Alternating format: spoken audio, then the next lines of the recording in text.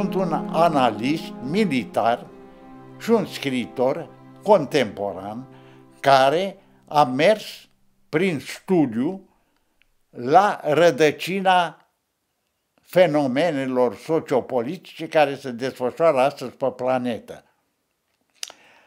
Ori pierim, ori supraviețuim și ne încadrăm în sistemul social care se va reechilibra după această ofensivă.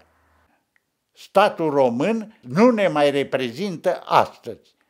Astăzi, statul român reprezintă interesele celor șase, șase, șase megatrusturi energetice, agroalimentare și financiare, care stăpânesc viața economică a planetei.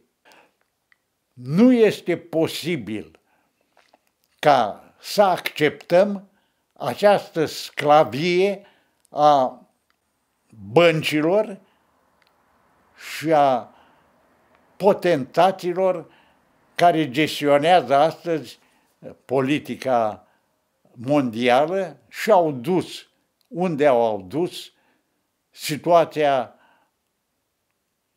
planetară. Conflictul acesta cumplit, ajutat de epidemia asta, sau cum naiba se numește, cu coronavirus, care izolează societatea civilă planificat, societatea civilă de uh, actul de guvernământ. Încă o dată, fac apel la părinți, la bunici care au o conștiință identitară solidificată de experiența unei vieți întregi care face obiectul uh, asasinării uh, planificat de doamna asta uh, foarte cinică, Madame Christine Lagarde, de la FMI, care spune că noi ăștia mai în vârstă uh, grevăm uh, bugetul, uh, finanțele mondiale. Nu, nu asta e subiectul. Ne elimină sau vor să ne elimine pentru că noi reprezentăm tradiția și adevărul acestui popor. Nu vă despărțiți de voi înșivă. Nu vă lăsați plătiți și amăgiți de această propagandă furibundă făcută de, pe mass media cumpărată. Nu fac niciun fel de diplomație și de politețe. Este destul. Ni s-au luat toate mijloacele economice care ne țineau în picioare. Ia gândiți-vă, dacă se supără pe noi și pleacă cu multinaționalele astea din țară. Cum asigură guvernul traiul de fiecare zi al populației? Unde este baza economică care să susțină viața de zi cu zi, obișnuită, banală, a țării astea? Dacă se închid molurile astea în care este voie să intri cu mască, fără mască, dar în biserică nu e voie să intri. Iar în școală, după câte sunt informat, ă, se vor adopta niște ă, restricții ă, la fel de dure care să izoleze elevii de conștiința publică prezentă. Sunt tulburat profund de această problematică care este esențială. Dragii mei, am zeci de întâlniri cu tineretul. Avem un tineret de excepție. Avem un tineret receptiv, un tineret la nivel olimpic, mondial. Nu vă bate joc de tineretul ăsta. Nu-l obligați să ia calea străinătății. Opriți exodul valorilor tinere. Suntem un popor viguros.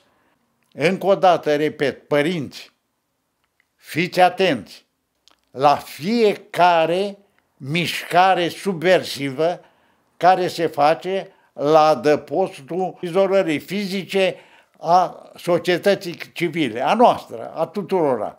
Ne trezim peste noapte cu legi cu care noi nu suntem de acord, dar care ni se impun prin forța dictatului. Dictaturile trecute sunt floare la ureche, pe lângă dictatura contemporană din ciberspațiu. Se vor monta camere de luat vederi de ultimă generație la toate uh, instituțiile de stat, începând cu școala. Această supraveghere electronică uh, va fi urmată de o supraveghere mai intimă prin chipurile pe care vor să ni le uh, implementeze. Se vorbește de un guvern mondial. Cine l-a votat? Cine sunt uh, membrii acestui guvern? Care este uh, planificarea lui economică? Am văzut care este. Ne-au ras tot ceea ce ține de existența noastră, începând de la uh, subsol până la industrie și până la uh, păduri.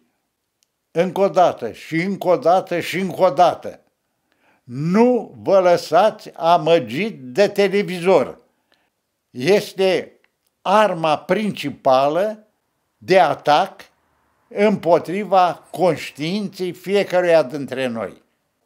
Tot felul de mizerii de-astea uh, subculturale, o cultură de tip Coca-Cola, uh, care împrăște atenția într-o influență de asta subliminală, ne infiltrează ceea ce doresc cei care le manipulează și le plătesc. Fac apel la părinți, la bărbați, dacă mai sunt bărbați în țara asta. Se întâmplă următorul fenomen, astăzi, în post decembriadă. Unii dintre noi rămânem de sex masculin și unii devenim bărbați.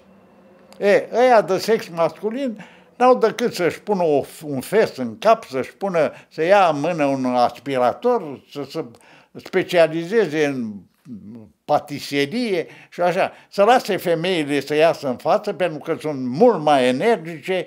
Mame, nu vă lăsați copii pe mâna educației care îi conduce la prostituție. Prostituție fizică, prostituție morală, prostituție intelectuală. Nu vă lăsați să vi se distrugă copiii prin școală. Nu-mi închipui că un părinte poate să aibă atitudini de-a dreptul monstruoase de a fraterniza și de a uh, merge pe linia acestui uh, atac frontal, substanțial și subversiv în același timp al școlii. Acest atac concentrat pe tineret înseamnă distrugerea viitorului acestei țări. Pentru că ei reprezintă și forța demografică, și forța uh, spirituală, și forța culturală, și forța economică a acestui uh, popor și a viitorului, a istoriei lui. Nu vă lăsați copiii pe seama statului român. Statul român nu mai este astăzi, nu ne mai reprezintă astăzi. Eu nu fac un apel care s-a banalizat. Doamne ajută! Dumnezeu ne ajută, dar nu ne bagă în trai, să în trai să ne băgăm singuri. Și ne băgăm singuri atunci când conștientizăm că avem forță să ne opunem acestui asalt complex care ne-a destabilizat până la aproape anulare. Ăsta e scopul principal al acestei întâlniri cu părinții și cu copiii, cu tineretul școlar. Asociația noastră familia creștină insistă și prin mine, vă adresează vouă, părinților. Voi sunteți cei care puteți asigura viitorul, continuitatea istorică a poporului român prin atașamentul vostru față de educația tradițională a copiilor voștri.